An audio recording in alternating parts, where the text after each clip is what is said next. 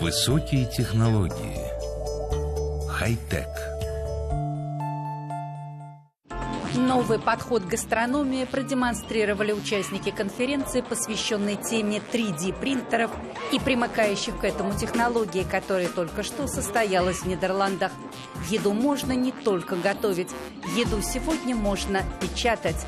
Например, как говорят сотрудники компании BioFlow, такой принтер может приготовить фруктовые десерты и ингредиенты для кондитерских изделий, вроде марципана.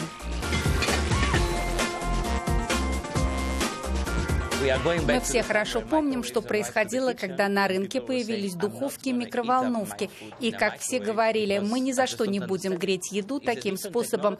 А сегодня такой метод приготовления очень распространен, и им пользуются все, в том числе и знаменитые рестораны.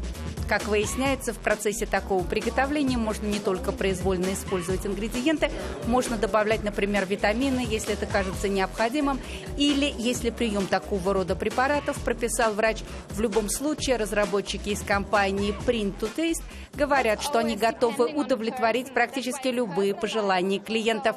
Не обязательно, кстати, витаминные препараты. Есть люди, которые склонны добавлять протеины в свой рацион, а есть те, кому требуются особые кислоты кислоты или даже жиры, а может быть и углеводы. Сегодня приготовление еды становится все более и более персонализированным, и мы готовы развивать такой подход и дальше.